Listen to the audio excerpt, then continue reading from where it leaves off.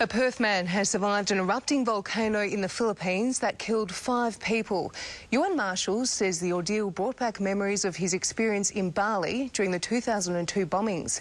Daniel Donnelly has the details.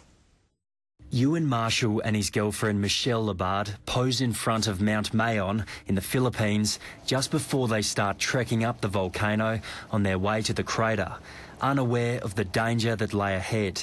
Their tour group was about halfway up the volcano when it erupted.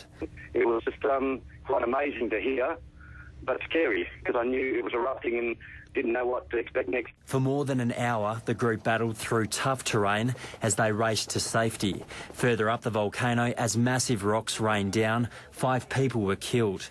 Ewen believes if the volcano had erupted just an hour later, his party could have also lost their lives. I feel sad, very sad for them and their families.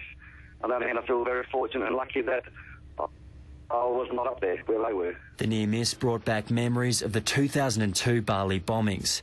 Ewen survived that experience, but is still haunted by it. Being there, seeing the aftermath, seeing what happened, it was it was bad. It, it, it, remained in my mind for years, many years. But despite his latest brush with death, he says he won't be deterred from travelling. Daniel Donnelly, 10 News.